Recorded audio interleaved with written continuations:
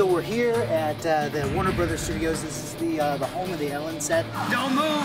Don't move! Here it comes! Here it comes! Turn it upside down, put it in the water.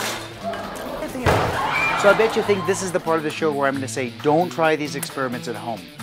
And you're right, except there is one experiment we want you to try. Just look for the graphic that's right here that says try it. That's your signal that you can try that experiment at home. Everything else off limits. Look, I've already given you homework and the show hasn't even started. I'm Steve Spangler, and I'm all about making science fun. For the last 20 years, I've been teaching ways to turn ordinary science experiments into unforgettable learning experiences. I have an amazing team who will do whatever it takes to affect the way people think about science. And to do that, I live by one motto make it big, do it right, give it class.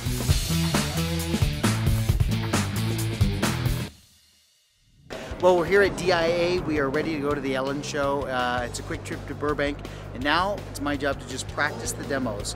So I figure I'll just, just flip down the tray table and practice the demos that I'm going to do on the show. I uh, actually am her bodyguard. I'm Carly's bodyguard. I speak into my arm. Sector one clear, sector one clear, and I just make sure that everything is fine. I always accompany her like this, like she's a criminal. Usually I like to take her hands.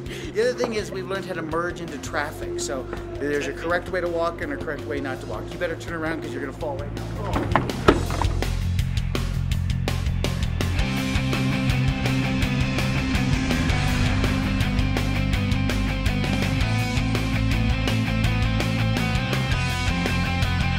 All right, well, we're here at the airport, and I think I've got all the demos figured out for the Ellen Show because of my good friend here, Lopez. All right, so he and I have discussed this, and we know exactly what we're going to do in the Ellen Show. Tell him, what we're we going to do? Well, I'm gonna wait and everybody else will see later. That's right. See, he's a consummate professional because he knows you don't tell the demos ahead of time. You got to tell me the demo, but when you think of it, you tell me. 'Cause I, I, I got nothing.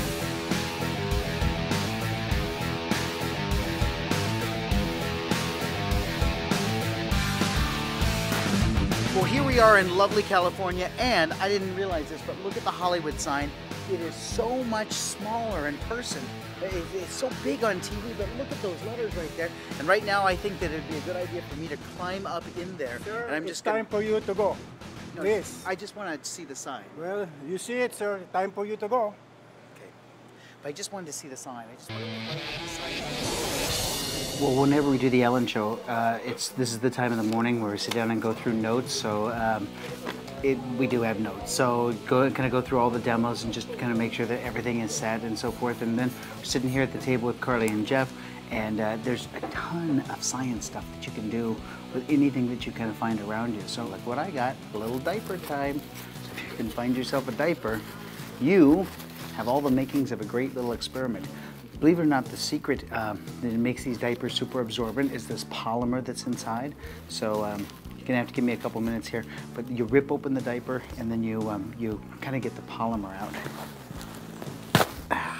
See, you can start to even see it coming out here. Watch this. See the powder that's coming out? That powder is the polymer that um, that is super absorbent. Okay, watch. So this goes into um, to a cup. Here, I won't use all of it. Perfect. Watch this. Here's this water. Watch. So here's what makes it super absorbent. Watch. Three, two, one. Isn't that awesome?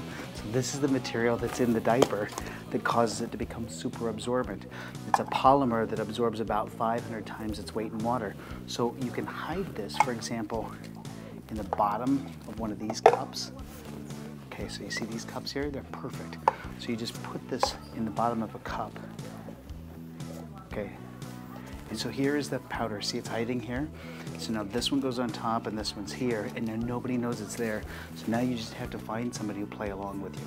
Look, it's Jack. Jack manages the club up here, uh, and we made kind of a mess, but I want, I want to show you something cool. And disregard most of this. And the fact that when you do this and you open this up, it goes ta-da, like this. See? There, this is a defect in the bottle. There are actually holes in the bottle like that. And that was her idea. So that's that's her problem. But here, let me show you this. This is very cool. All right, so this, have you ever seen the three shell game? Sure. You know where you put the pea in one? Okay, so watch this. You put the water here. Okay, now, here's what I'm gonna do. I'm gonna move them around, and you tell me where it is. Oops, it's not in that one. Yeah. Okay? All right. Okay, so you ready? Uh-huh. All right, watch this. This is going to be good. Okay, here we go. Okay, where is it? In the middle one, left one, or right? Whoa. Yeah. See, you're watching pretty closely. Okay, I'm going to give you a hint this time. Ready? It's not in this one. You ready? Oh, look, Elvis. All right, so now where do you think it is? Left, middle, or right? Ah, see, you're watching very, very, very closely. All right, so this one here, I'm going to give you, um, okay, you know where it is. Got it? Okay, you ready? Here we go. Right here and here. See, it's not in this, so I did that on purpose. Ready? I'm doing this old switcheroo like this. Where do you think it is? Nope, not in this one, but that's a good guess. Okay, so now, ready, you're going to keep going. Here we go, here and here. Now, where do you think it is? The middle. Okay, not in the middle. No. Okay, keep going. All right, here and here. Where do you think it is? The middle. Okay, oh, that was close. Watch this one. See, the water's gone. It's gone. Ta-da! See, is that cool? How did? Uh, you're not gonna tell me, but No, Wow, when you when you weren't looking, I just went and I drank it. It was perfect. get out of here. I was watching. See, that's awesome. That was very, very. Thanks, good. man. Very All right, cool. There you go. Now, next time you see a a diaper, diaper. see it's the science of a diaper. All right, cool. And now you know. See how cool is this to be able to do all of this? We are ready to go. We'll uh, we'll head to the studios here in just a couple minutes. And nothing that we did this morning will be on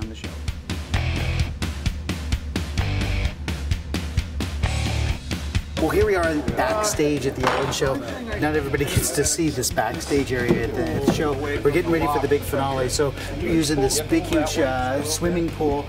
And uh, logistically, you know, you've got to work on things about how things are going to move in and out of the show. And so these are the pros that know how to make it work. I just stand here and wait for them to say go, and, and we'll head into rehearsal. So I think we've got the can crusher set. Oh, look at that.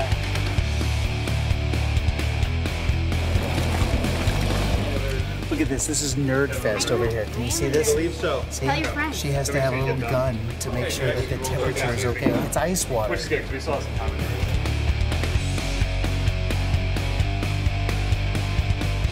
One of the things I've learned uh, from the, the people here at the Ellen Show is not to telegraph things to the audience.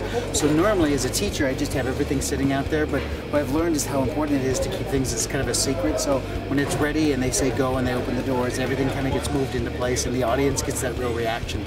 The other thing that you have to know is that um, Ellen doesn't want to see anything that has to happen with the science experiments ahead of time, so we keep things as shielded from her as possible. So it's completely a surprise when she gets to see it. So when she's seeing it for the first time, it's just like the audience seeing it for the first time. It just means we got to practice a lot internally, making sure that we're okay.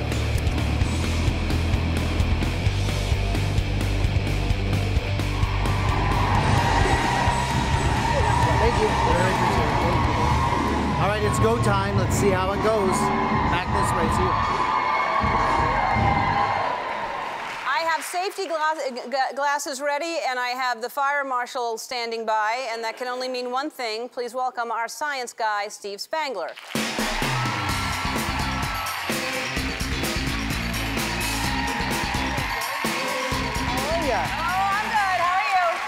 Great. I never like to know what's happening. I like to be surprised with everybody else. So, what are we doing today? My socks are from J.C. Penney's. Thank you very much. Thank you.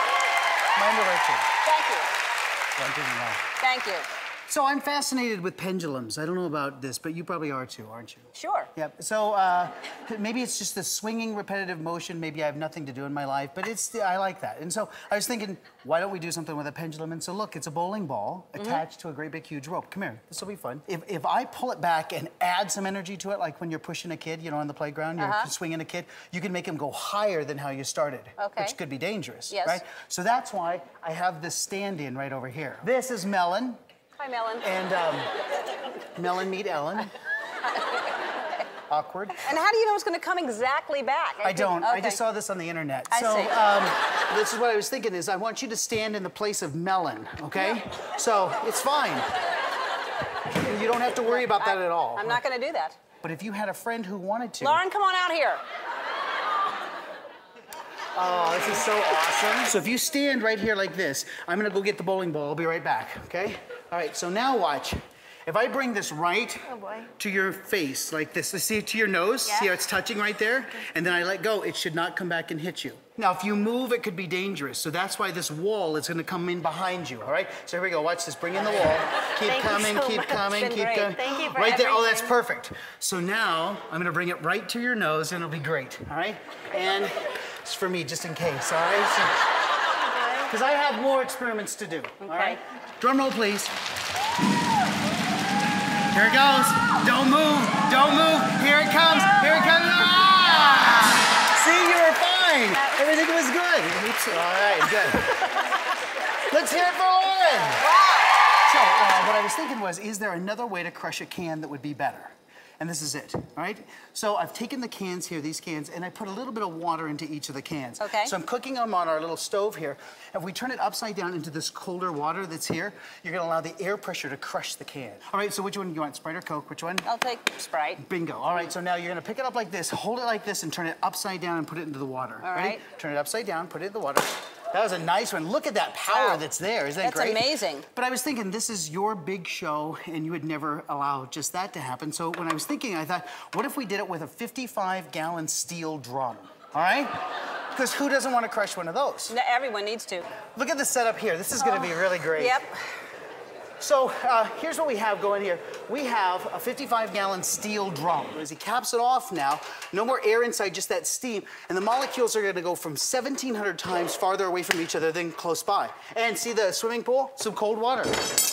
Jeff, will you pour some water on it for me? So now watch this. We just have the air pressure pushing on it, and now it's condensing down. And now the weird thing is, isn't that awesome? Come here, it's okay now. It's okay. See why? Listen, listen, listen. It's kind of fun. All right. Well, let's. Uh, See how see how it's working? It's just kind of crushing and the same kind of thing that we're trying to do to get kids excited, whether it's online or on YouTube Uh-huh. Yeah. or any other way that we're doing it. well, it's always a lot of fun, Steve. Go to our website to learn more about Steve and his new YouTube show, The Spangler Effect. We'll be right back. Steve Spangler.